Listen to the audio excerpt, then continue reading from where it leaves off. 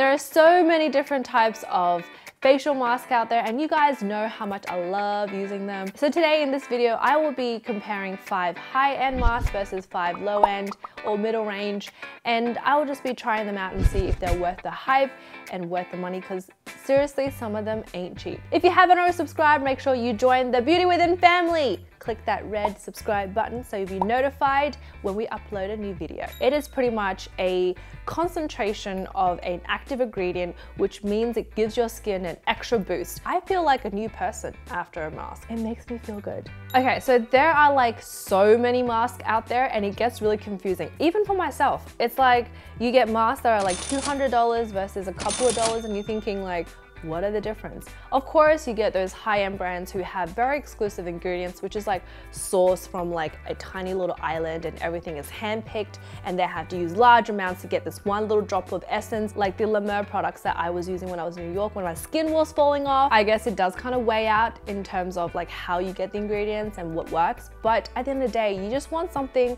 that's gonna work for your skin. And I picked the closest comparison that I could find and uh, hopefully this will be an accurate experiment for you guys and I hope you guys will enjoy this journey with me and find out which one works, whether it's high end or low end. Okay, now anti-aging mask. I've gotten this um, Sano Silk mask from K-Beauty and I really wanted to test it with my all-time favorite Chanel Sublimage mask. Now both claims to do everything for the skin. The K-Beauty one comes with like a brush and the product is like a clear gel. So I just brush it all on I feel like it's kind of cooling, maybe because it's cold, but slightly tightening, which I'm not a big fan of.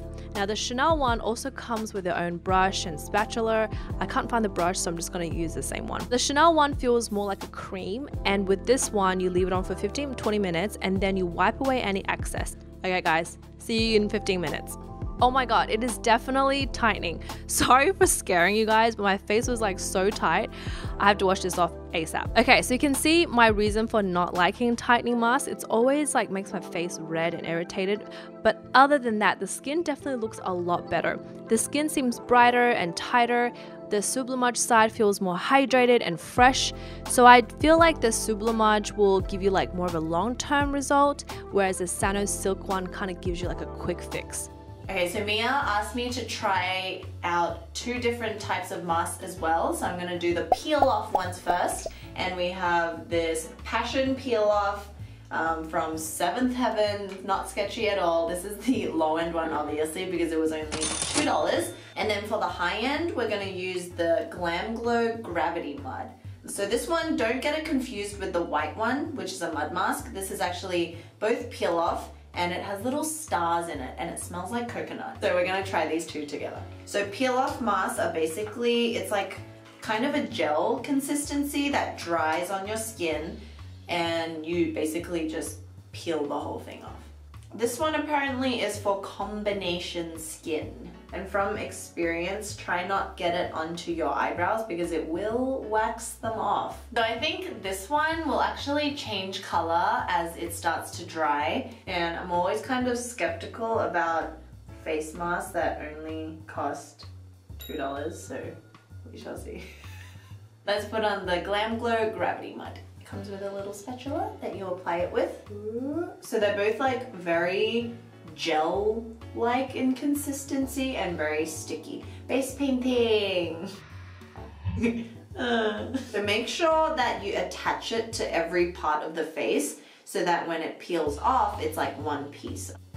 Okay, like who cares about cucumbers over the eyes? I guess their new thing is pomegranates over the eyes. I cannot be bothered, so time to peel it off. So this one actually did not turn purple. I am very disappointed. I wanted to look like her, but it is like really smooth.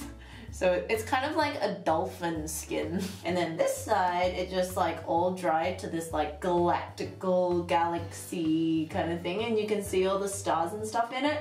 Like honestly, I don't think the stars do anything whatsoever, but it's like really cool. Whoa, so fun. It's like peeling your own skin off.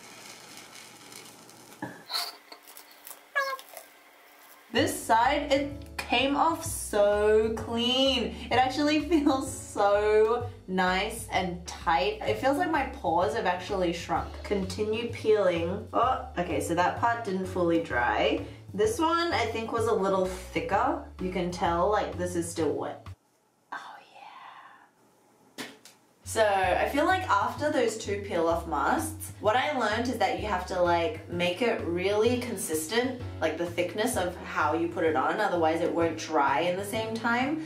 Surprisingly, I think I would actually go with the El Cheapo one that looked really dodgy and was only $2 because I feel like they kind of did the same thing. And it doesn't like feel like it's making my skin itchy or anything like that. I would say low end does the job for peel off mask. I picked Glam Glow Clearing Mud, which is super popular, and I'm comparing it to this Dr. Jart one, which I have been using currently. The Dr. Jart one, it's actually like a mask slash cleanser in one. Basically, all you do is just apply a thick layer after cleansing the face and wait for about 15 to 20 minutes, and then rinse it off in like a circular motion, kind of like just washing your face again. Now, the Glam Glow one is way more fancier. You also have to apply this after cleansing the face, and as soon as you apply it, you kind of feel this like cooling sensation.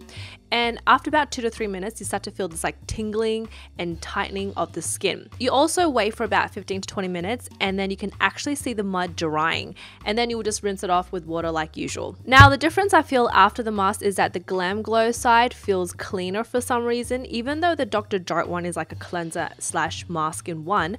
I think it is definitely that cooling or that tingling sensation that makes you feel that your skin is cleaner. In terms of the look, the Glam Glow side is more red than the Dr. Jart. However, I feel like the results is very similar. Like it's not a huge difference there. So for natural face mask, we're going to use the low end, which is the Bell Bar, developed by Mia actually, and it's 100% natural ingredients and it's for brightening, it's for nourishing and hydrating, and then for the high end, we're using Farmacy Honey Potion, and it's their Renewing Antioxidant Hydration Mask. They both have hydrating properties, and let's see how they work. This side we have the 100% natural Bell Bar Mask. It like definitely doesn't smell nice, but you know when things don't smell nice, it kind of makes you feel like it's very natural. Put it on like this. So all you had to do was kind of add a little bit of water to loosen the actual mask up. So this one is very thick and it's not scented and it's 100% natural which is why we're going to put that on the left side. So this one's like pure honey as well as a lot of other antioxidant ingredients and honey is good for hydrating and purifying so you can use the spatula or you just apply it with the fingers. This one also doesn't really have like a scent. You can even make honey masks at home by just using honey. So what you do after you put this one on is you actually massage it for about a minute until it becomes like a white foam because the heat will actually activate it. it looks like egg. Egg yolk. Okay, so once you've kind of like heated it up, you'll feel it kind of warming up as well. And then you just leave them both on for 10 to 15 minutes. So my first thoughts is the Bell Bar feels more like it took more of the impurities and the oils away because it's a little bit more drier compared to what I feel on this side, which is a little bit more soft and nourished and it did say it was hydrating and nourishing this one, whereas this one kind of feels like a clay mask almost. But I definitely feel like they almost did two different things. Because they're both natural, I'm not really, I don't think, I don't feel inflamed or it's not like tingling in weird ways or anything like that. So yeah, you can always kind of trust that 100% natural ingredients are going to be the safest on your skin. Oh man, I love sheet mask. Today I'm going to compare the SK-II whitening one to this Korean one by the Art Cell. So I'm just going to cut both in half and try them both on the same time. First, you can see the SK-II one is in the traditional cotton sheet that's like white and it's very stretchy and it's moldable. It's like almost like microfiber and the liquid is quite creamy. Now the Art Cell one is clear and the liquid is very runny. Um, actually, there's quite a lot of product in there. I think it's like enough to do the whole body. I can feel the SK-II drying a lot faster. It can also mean that my skin is drinking it up more quickly. Um, but after removing the mask, I feel like the Art Cell is more hydrating and it leaves like this glowy finish, whereas the SK-II one dries down quite smooth.